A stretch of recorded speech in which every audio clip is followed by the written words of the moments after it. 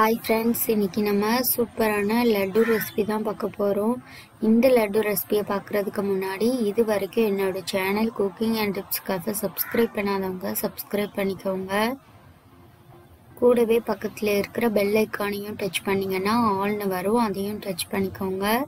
இந்த மாதிரி செஞ்சிங்கன்னா தான் நான் போடுற லேட்டஸ்ட் வீடியோஸ் உடனே உங்கள் நோட்டிஃபிகேஷனாக வந்து சேரும்.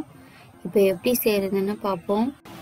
ஒரு பேன் எடுத்திருக்கேன். அதில் ஒரு கப் அளவுக்கு கோதுமை ரவை எடுத்திருக்கேன். அதை சேர்த்து நல்லா ட்ரை ரோஸ்ட் பண்ணணும். இந்த கோதுமை ரவை நல்லா வாசனை வர வரைக்கும் நல்லா வறுத்துட்டு இதை ஒரு பிளேட்டில் எடுத்து வைக்கணும்.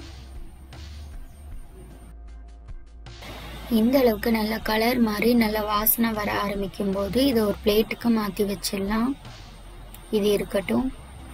இப்போ அதே பேனில் நான் ரெண்டு டேபிள் ஸ்பூன் அளவுக்கு நெய் சேர்த்துருக்கேன். நெய் நல்லா சூடானதுக்கு அப்புறமா கொஞ்சமாக கிஸ்மிஸ் சேர்த்து நல்லா ஃப்ரை பண்ணிட்டு எடுத்து வைக்கணும். இதை கடைசியாக தான் சேர்க்கணும். உங்களுக்கு வேணும்னா இதில் முந்திரி பாதாம் கூட கட் பண்ணி சேர்த்துக்கலாம். நான் வந்து கிஸ்மிஸ் மட்டும்தான் சேர்த்துருக்கேன். இப்போ இதை ஒரு பவுலில் மாற்றி வச்சிடலாம். இதை கடைசியாக தான் சேர்க்கணும். இது இருக்கட்டும். இப்போ அதே நெய்யில் நான் ரெண்டு கப் அளவுக்கு திக்கான பால் எடுத்து வச்சுருக்கேன். அதை சேர்த்து நல்லா கொதிக்க வைக்கணும். பால் வந்து ரெண்டு கப் சேர்த்திங்கன்னா கரெக்டாக இருக்கும். இப்போ இந்த பால் நல்லா கொதிக்கட்டும். இப்போ பால் நல்லா கொதிக்கும் போது இந்த கோதுமை ரவையில் ஒரு பிஞ்ச் அளவுக்கு உப்பு சேர்த்துட்டு கலந்து எடுத்து வைக்கணும். இப்போ பால் நல்லா கொதிக்கும் போது கொஞ்சமாக எல்லோ ஃபுட் கலர் சேர்த்துருக்கேன். உங்களுக்கு வேணும்னா சேர்த்துக்கோங்க. இல்லை அப்படின்னா சேர்க்க வேண்டாம். இப்போ நம்ம ரெடி பண்ணி வச்சுருந்த கோதுமை ரவையை சேர்த்து நல்லா இதை கலந்து விட்டுட்டே இருக்கணும்.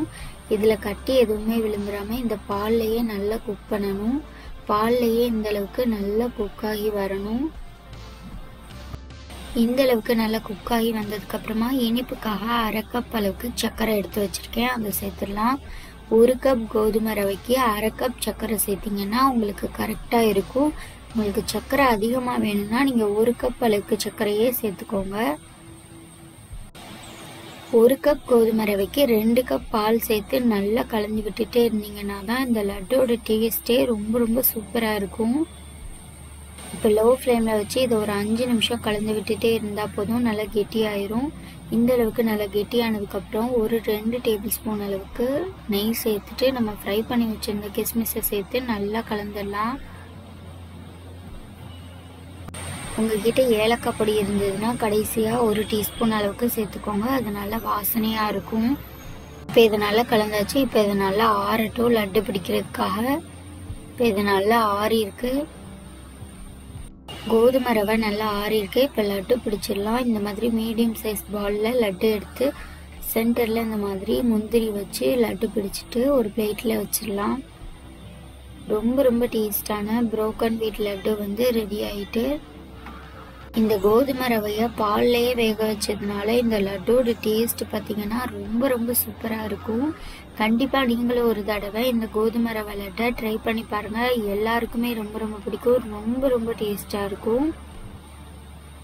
இந்த ஹெல்தி கோதுமை ரவை லட்டை ட்ரை பண்ணி பாருங்கள் ட்ரை பண்ணி பார்த்துட்டு உங்களோட ஃபீட்பேக்கை என்னோட கமெண்ட் பாக்ஸில் கண்டிப்பாக சொல்லுங்கள் இந்த கோதுமை ரவை லட்டு ரெசிபி உங்களுக்கு பிடிச்சிருந்ததுன்னா லைக் பண்ணுங்கள் ஷேர் பண்ணுங்கள் இது வரைக்கும் குக்கிங் அண்ட் டிப்ஸ்க்காக சப்ஸ்கிரைப் பண்ணாதவங்க மறக்காமல் சப்ஸ்கிரைப் பண்ணிக்கோங்க.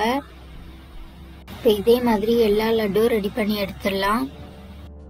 பூந்தி பொரிக்காமல் வீட்டில் இருக்கிற மூணே பொருளை வச்சு ரொம்ப சிம்பிளாக ரெடி பண்ணக்கூடிய லட்டு ரெசிபி தான் எப்படி செய்கிறதுன்னு பார்த்தோம். கண்டிப்பாக நீங்களும் ட்ரை பண்ணி பாருங்கள் எல்லாருக்குமே ரொம்ப ரொம்ப பிடிக்கும். ரொம்ப டேஸ்ட்டாக இருக்கும்.